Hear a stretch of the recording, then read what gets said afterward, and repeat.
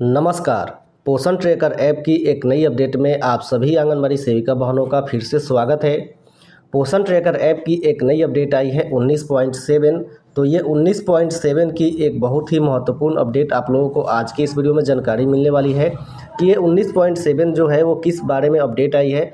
चूँकि आप लोगों को बता दें कि ये जो अपडेट है वो आप लोगों का टी और एस से संबंधित ये अपडेट है तो आप लोग वीडियो को बिना स्किप किए लास्ट तक ज़रूर देख लीजिएगा। चलिए, सबसे पहले हम लोग यहाँ पे पोषण ट्रैकर ऐप को अपडेट कर लेंगे। अपडेट करने के लिए आपको प्ले स्टोर में आ जाना है। आने के बाद यहाँ पे पोषण ट्रैकर लिख के सर्च कर लेना है। सर्च जैसे ही करेंगे तो आप लोग देख सकते हैं कि यहाँ पे अपडेट का ऑप्शन आप लोगों को देखने को मिल जा रहा है। तो सभी सेविका बहनें इसको अपडेट कर लें। ठीक है, ये जो लेटेस्ट अपडेट है, एक नवंबर 2023 को आया हुआ है और यहाँ पे दो अपडेट आपको देखने को मिलेगी। पहला अपडेट आप लोगों को टीएचआर और एसीएम से संबंधित है और दूसरा अपडेट यहाँ पे बग फिक्सेस है, यानी कि जो आप लोग पोषण ट्रैकर ऐप में देखते हैं छोटी मोटी गलतियाँ होती है, उसको ठीक किया जाता है हर अपडेट के साथ। तो ये पहला अपडेट जो है, वो बहुत ही इंपॉर्टेंट है, आप लोग यहाँ पर ध्यान से समझिएगा। लिखा गया है टीएचआर या ACM form on the home page for October month entry is open from fourth to seventh November यानी ये कह रहा है कि पोषण ट्रैकर ऐप में जो आप लोग टी एच आर या एसीएम भरते हैं, जो कि आपका पिछला अक्टूबर महीने का जो टी एच आर या एसीएम छूट गया है उसको भरने के लिए आपको यहाँ पे चार से सात नवंबर का एक तारीख फिक्स किया गया है, जिसमें कि आप लोग वहाँ पे जाके जो भी छूटे हुए लाभार्थी हैं, उनका फिर से आप लोग टी एच आर भर सकते हैं।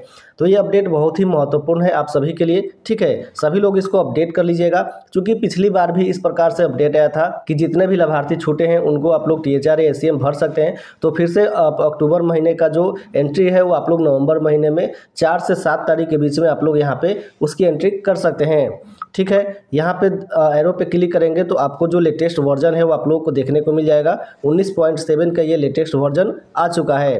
तो चलिए इसको हम लोग फटाफट से अपडेट कर लेते हैं। यहाँ पे अपडेट का ऑप्शन है इस पर क्लिक कीजिएगा।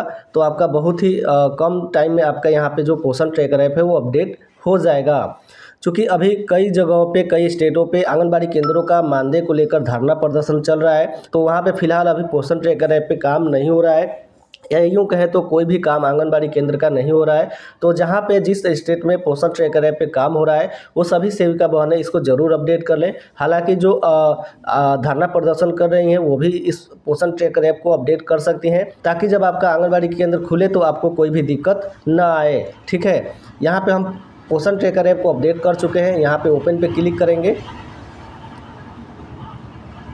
यहाँ पे जैसे ही ओपन पे क्लिक करेंगे तो देख सकते हैं कि अभी आप लोगों को पोषण ट्रैकर ऐप में कुछ दिखाई नहीं देगा, जो अपडेट आया हुआ है, ठीक है? जो अपडेट आप लोगों को देखने को मिलेगा, वो यहाँ पे देखने को मिलेगा। चार से सात तारीख के बीच में कि जो आप लोग टी एच या एससीएम जो भी लाभार्थियों का छोड़ दिए हैं, उनको भरने का एक ऑप्शन दिया जाएगा पिछली बार की तरह। तो फिर से आप लोग यहाँ पे जो लाभार्थी हैं, उनका यहाँ पे टी एच आर एस आप लोग भर सकते हैं। अभी आप लोग इसको अपडेट कर लीजिए। फ़िलहाल यहाँ पे कोई ऑप्शन आप लोगों को देखने को नहीं मिल रहा है। चार से सात तारीख के बीच में आप लोग को ये ऑप्शन देखने को मिलेगा। तो आप लोग आसानी से जो भी लाभार्थियों का छूटा हुआ एससीएम और टीएचआर है, वो अक्टूबर महीने यानी पिछले महीने का एंट्री आप लोग यहाँ पे नवंबर महीने में कर सकते हैं। और दूसरा अपडेट जो माइनर बग फिक्स है, वो हमेशा आती रहती है अपडेट के साथ। तो इस प्रकार से थी आप लोगों के लिए ये 19.7 की अपडेट। आप लोगों को ये अपडेट कैसी लगी कमेंट करके बता दीजिएगा। वीडियो कैसी लगी? अगर वीडियो पसंद आई हो तो वीडियो को लाइक करके ज़्यादा से ज़्यादा बहनों तक शेयर कीजिए। और चैनल को यदि सब्सक्राइब नहीं किए हैं तो चैनल को भी सब्सक्राइब ज़रूर कर लीजिएगा। तो फ़िलहाल आज के इस वीडियो में इतना ही। आपके लिए फिर एक नई जानकारी, एक नई वीडियो लेके आएँगे। तब तक के लिए आप सभी का हमारे साथ इस वीडियो में बने रहने के लिए बहुत बहुत धन्यवाद। जय हिंद।